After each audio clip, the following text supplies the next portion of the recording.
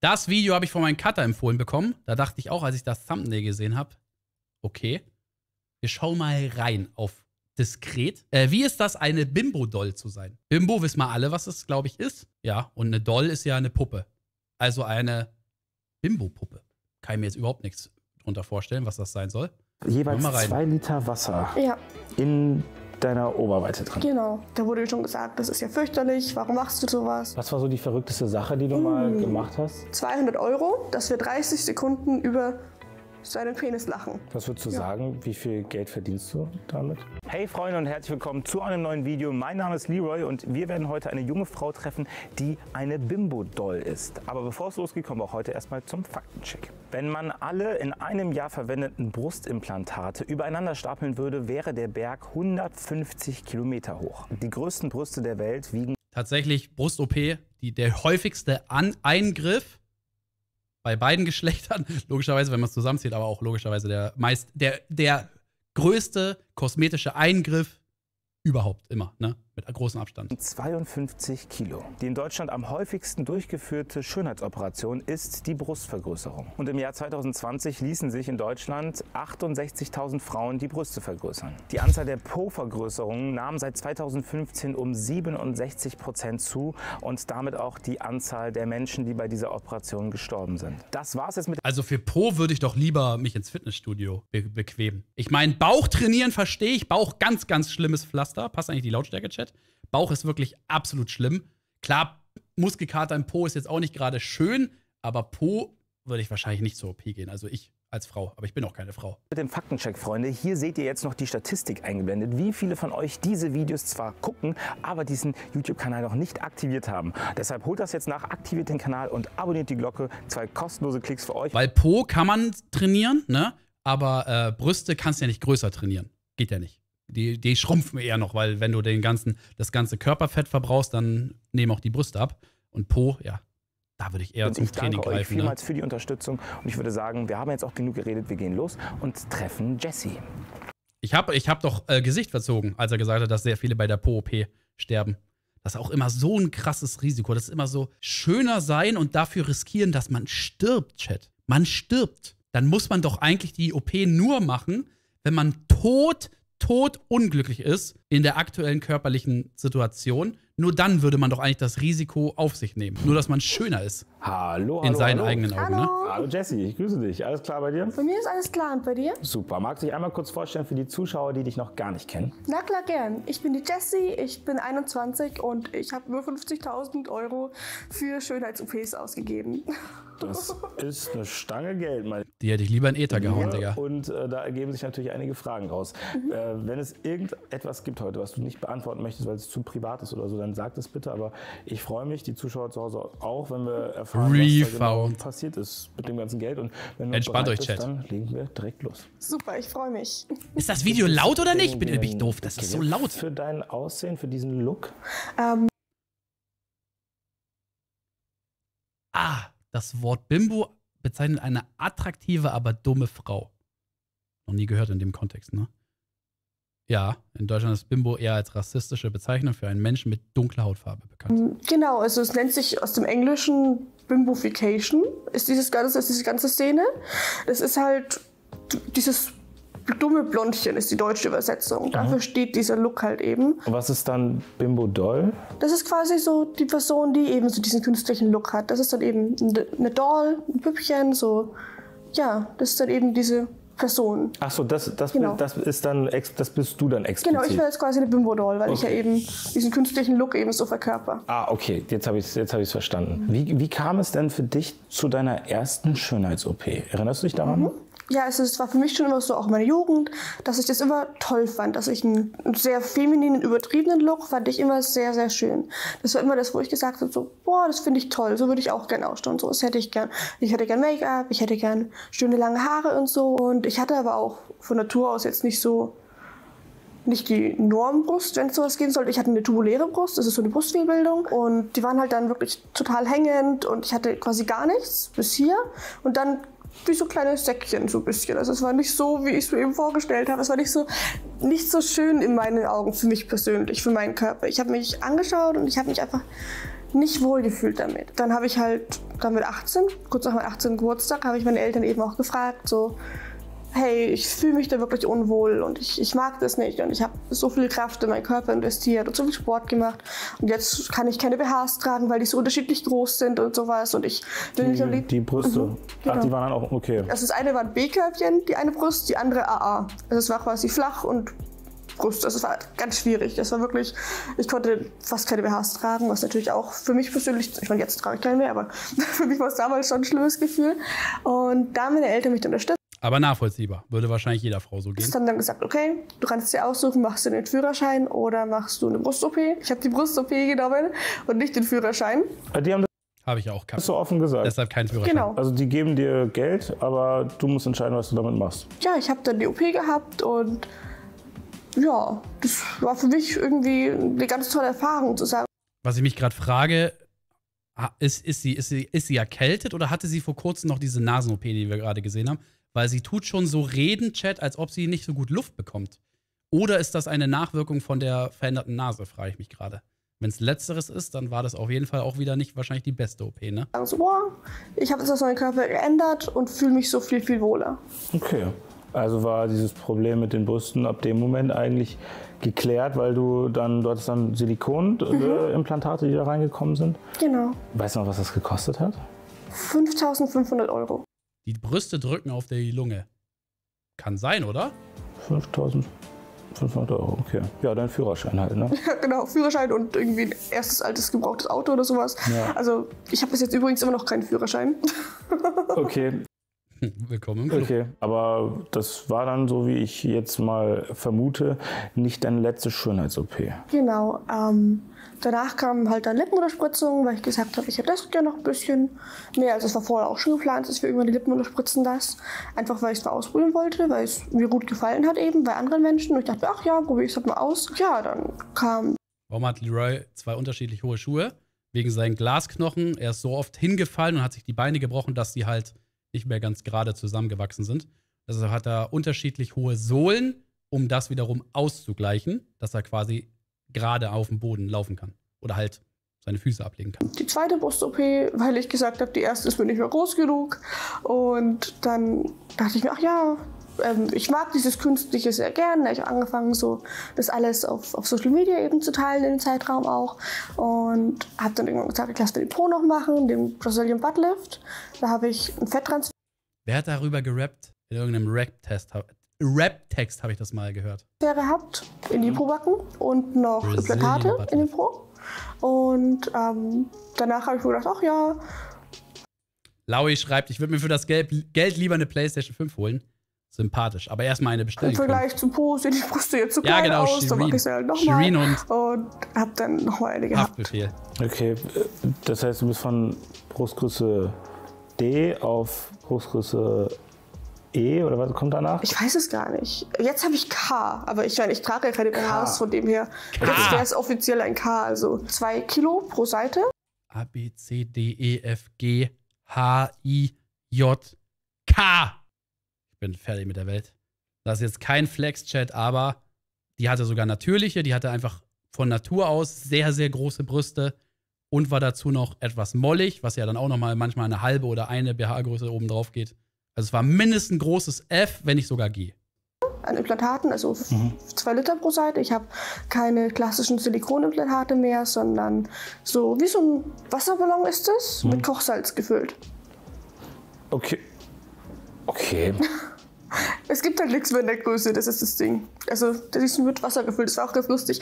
Frisch nach der OP, weil ja frisch nach der OP alles noch sehr hart war, konnte man da wirklich dagegen klopfen und hat wie so eine Wassermelone hat sich das angehört. Das war sehr lustig. Äh, du hast da jeweils zwei Liter Wasser Ja, in deiner Oberweite drin. genau. Also insgesamt vier Liter. Ja, man muss sich so vorstellen, die Implantate sind eigentlich ausgelegt für 1,5 Liter und die wurden ja überfüllt, deswegen ist da gar nicht so viel Luft drinnen, dass Okay. es irgendwie groß rumwabbeln kann oder sowas. Deswegen fühlt sich einfach, ich fand, die sind steinhart.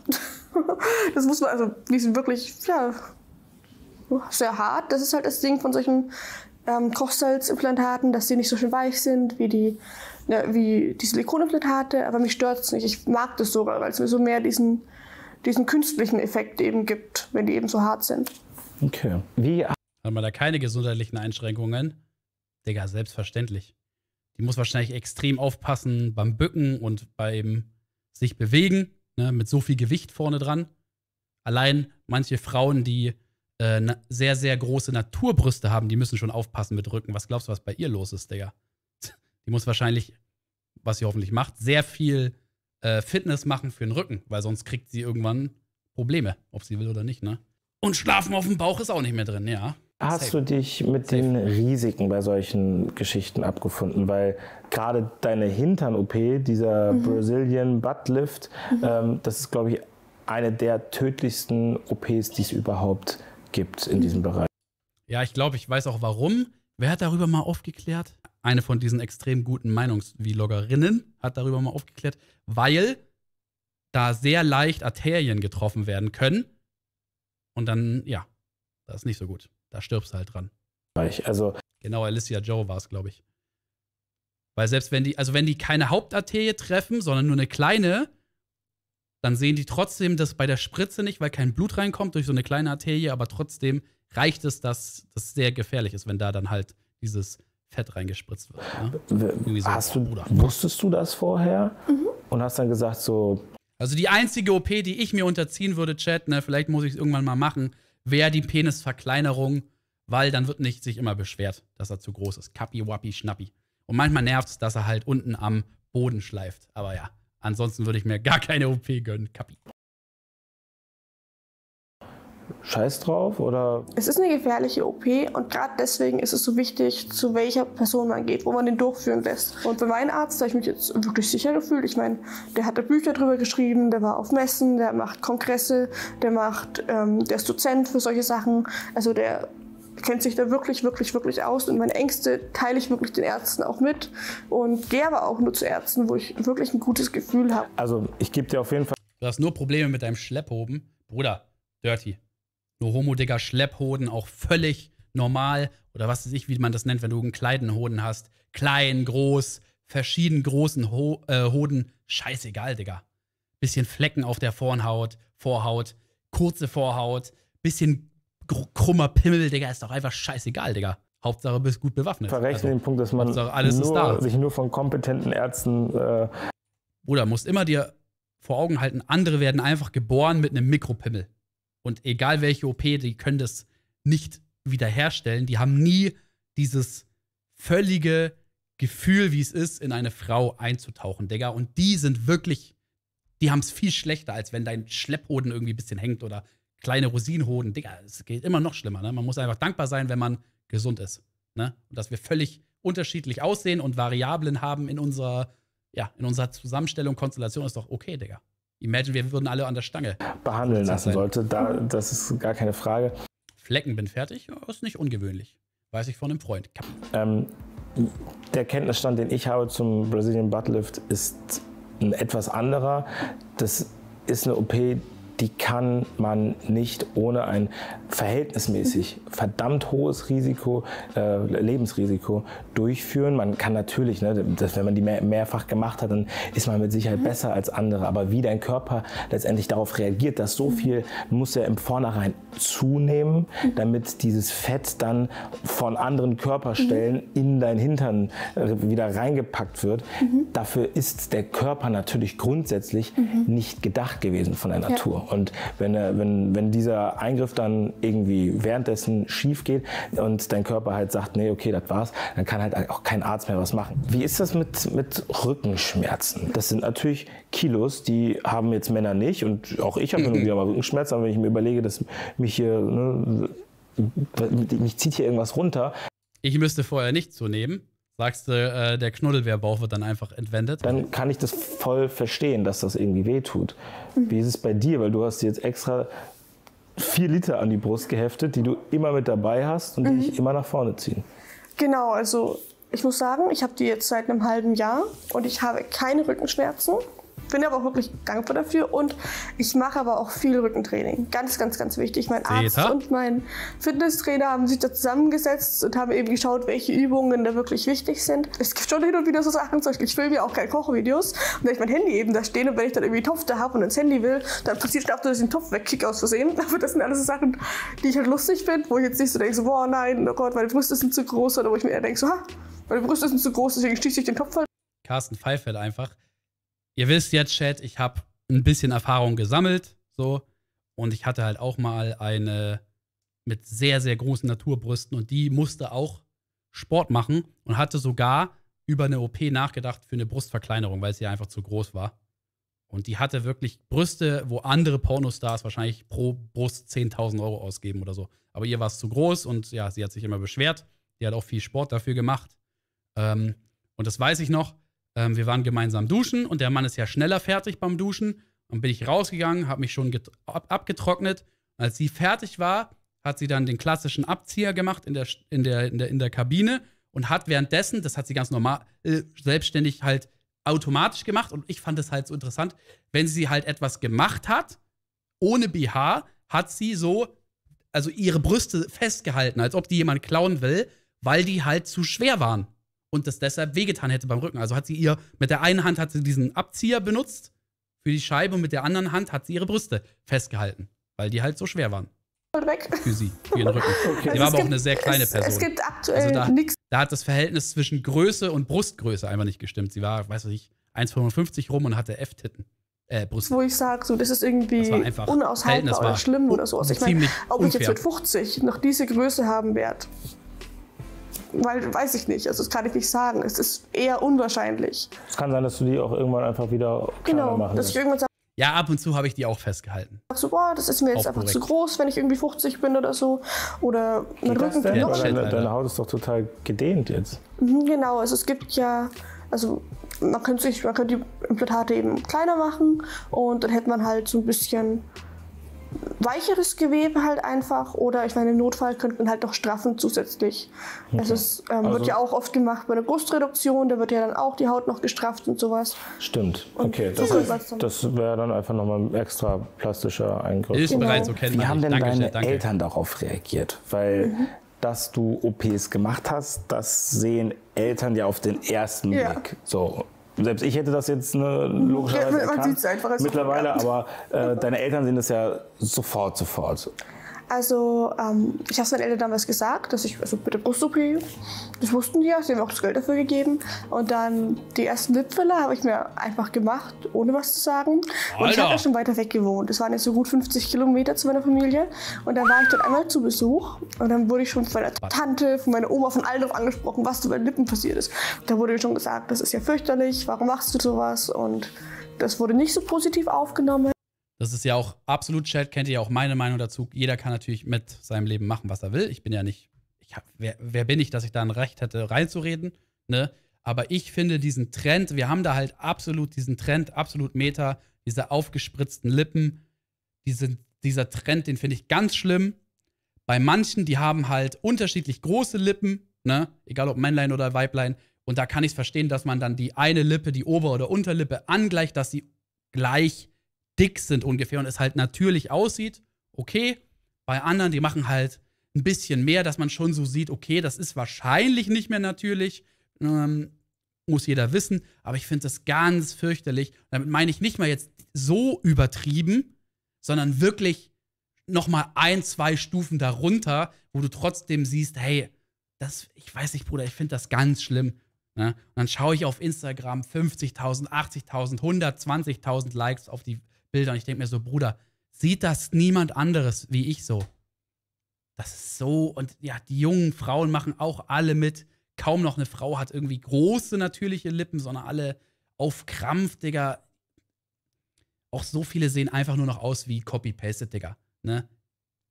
Das da, Lippen, Brüste, was weiß, weiß der Geier einfach. Keine Ahnung, Mann. Wenn ich mir aus dem Katalog eine Frau bestellen will, Digga, dann gehe ich auf fucking Metaverse Facebook, Digga. Und nicht im Real Life. Finde ich einfach kein schöner Trend. Dass da wirklich, ja, diese ganzen scheiß Insta-Filter, Bruder, wir tun wirklich TikTok, ganzen Nuttenplattformen machen die ganze Sch scheiß Jugend kaputt, Mann. Ne? Sobald die 18 sind, kicken die ersten Gesundheits-OPs. Und wenn Mama und Papa allein auch ordentlich bearbeitet wurden, dann auch manchmal auf illegal auf, mit 16 Jahren, finde ich nicht gut, Digga. Das ist einfach bodenlos. Ne? Deshalb Social-Media-Konsum reduzieren. Das ist, ich merke das sogar selber. Der Algorithmus von Instagram ist so fucking shit. Ich interessiere mich für Fitness, Digga. Dann werden mir nur noch irgendwelche geisteskranken ähm, Gigachats vorgeschlagen und ich denke mir so mit meinen Gummiärmchen, ja Bruder, wofür gehe ich eigentlich trainieren? Ne? Hätte ich nicht einen gesunden Alltag mit einem guten Selbstvertrauen, würde ich wahrscheinlich auch Depressionen schieben und mir denken, Alter, ich bin richtiger Schmutz. Ich, ich habe überhaupt keine Muckis. Ich habe gar keine dicken Arme. Ja, weil mir immer nur irgendwelche Herkulesse vorgeschlagen wurden. Das ist einfach Kacke. Passt da einfach auf euch auf. Lasst euch nicht von der Social Media Welt irgendwie manipulieren. Das ist leichter gesagt als getan. Es passiert trotzdem, ist ein schleichender Prozess, weil halt du immer nur diese perfekten Menschen siehst. Und die ganzen Leute, die normal sind, wie du und ich, die siehst du aber nicht.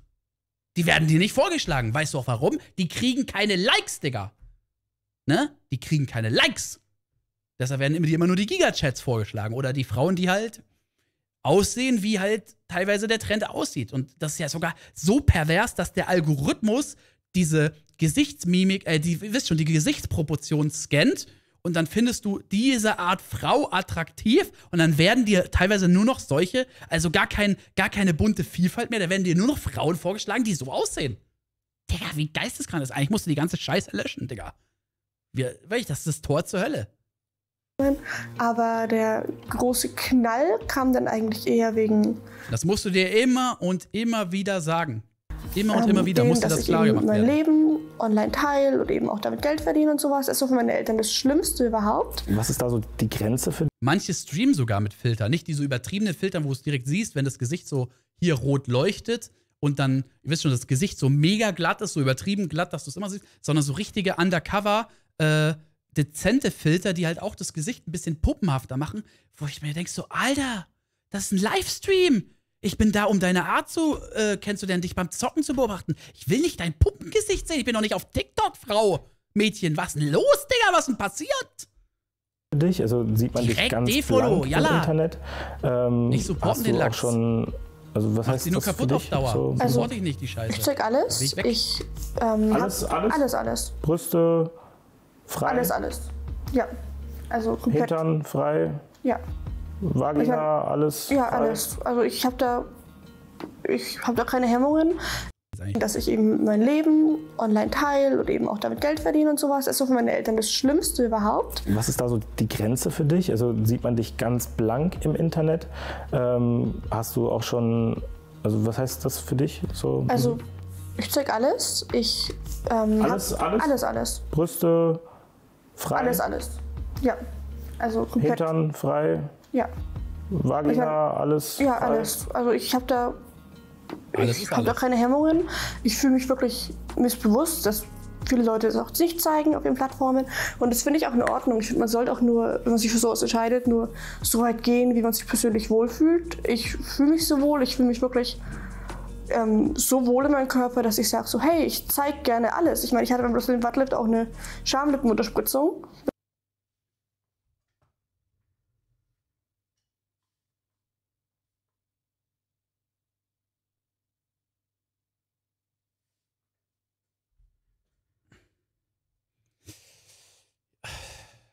Das klingt jetzt bescheuert, aber ja. Das klingt vor allem schmerzhaft. Man spürt es ja nicht. Ich, es, war, es war eine Vollnarkose. Also so, es war okay. ja während dem Brazilian Buttlift. Der Arzt hat gemeint, ja, ähm, weil ich eben gefragt habe, ob sowas möglich ist. Und er hat gemeint, ach ja, das geht ja ganz einfach. 10 Milliliter pro Seite. Wir haben eh mehr, mehr Fett über, als wir spritzen dürfen.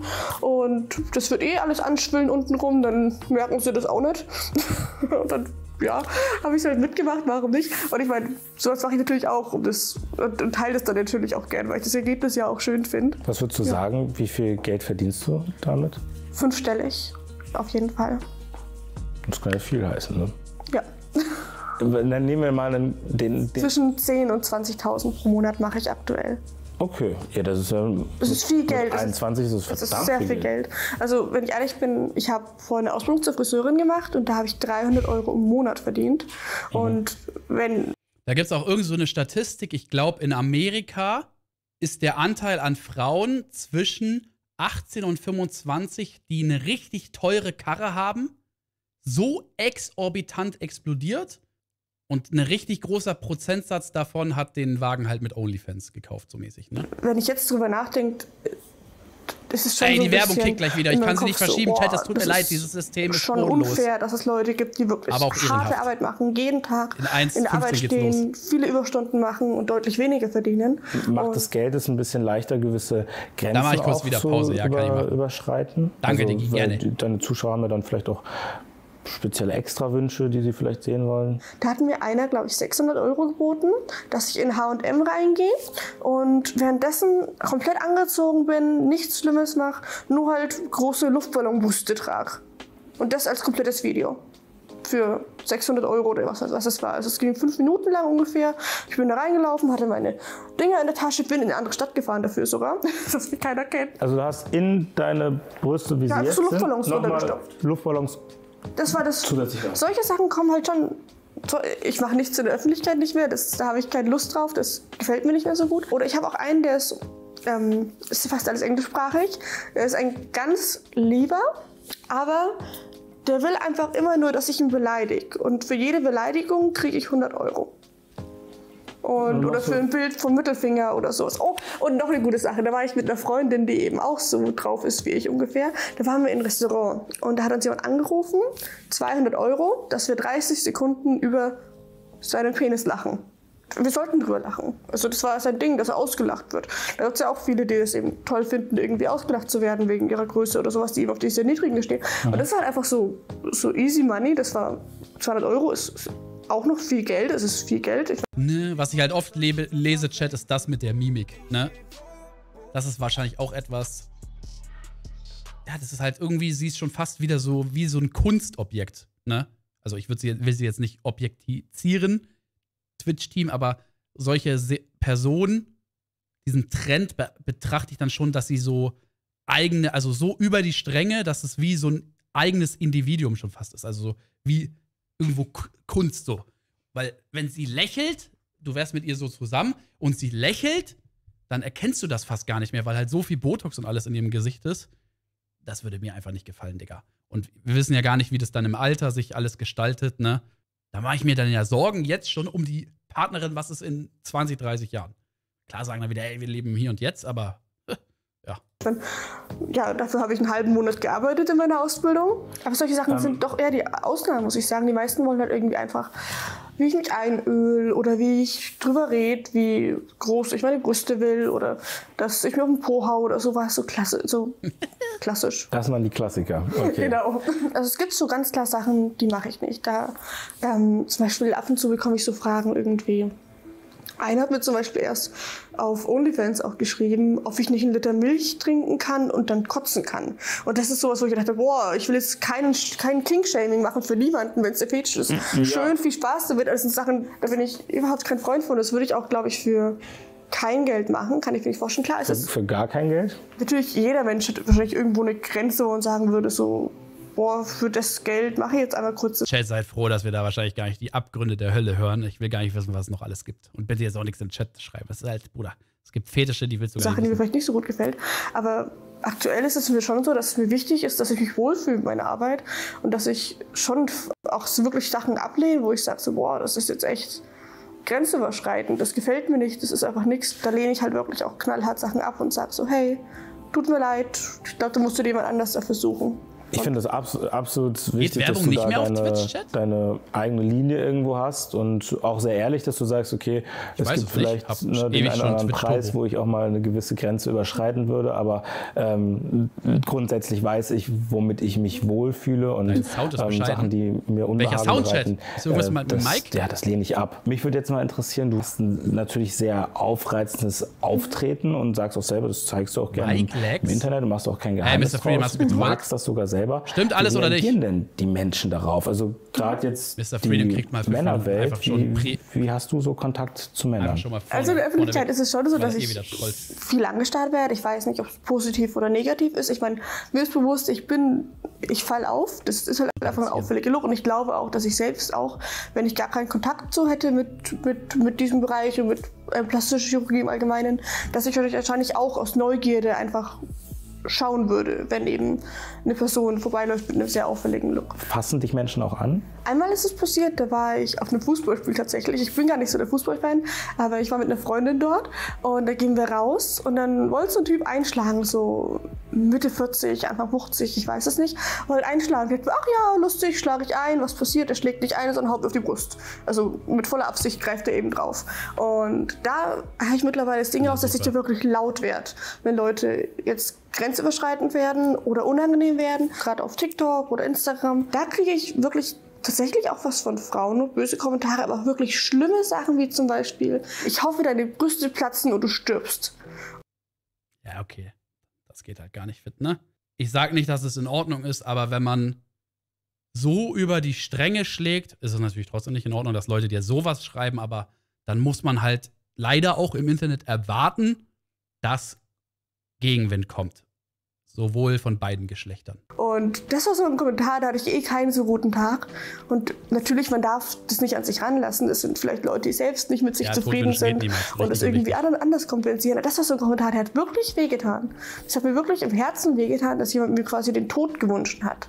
Also ich meine, und warum? Weil ich was mache, was der Person nicht gefällt. Ich tue niemandem weh, wenn dann, Ich, ja, ver- Das verstehe ich halt eben nicht. Das verstehe ich grundsätzlich nicht, warum man, warum man sowas schreibt, was das eigene Ziel dabei ist. Weil man, es geht ja nur darum, sich irgendwie besser zu fühlen. Vielleicht, weil man dann ein paar Likes auf so einen asozialen Kommentar bekommt. Aber wenn man sich keinerlei Gedanken darüber macht, was es beim, beim Gegenüber auslöst, so, ähm, es gibt genügend Menschen, die Leute finden das vielleicht dann immer in dem Moment bei, de, bei den anderen nice und hauen da mit drauf, aber imagine, das wäre bei dir in deinen Kommentaren. deshalb dann auch den So, Mut am Leben ganz verlieren. Also ähm, ich werbe da jetzt schon seit Jahren für, dass wir diesen, dieses Internet nicht als anonymen Raum betrachten, der es zwar ist, aber ähm, diese Anonymität nicht ausnutzen, um dann Menschen wie dir am Ende weh zu tun. Wenn du dich Hey, selber Mr. als Freedoms Geist dafür entscheidest, Die- die alte Rampensau. digitale Sexarbeit zu machen mit solchen Plattformen wie ne, OnlyFans, was du da aufgezählt hast, das,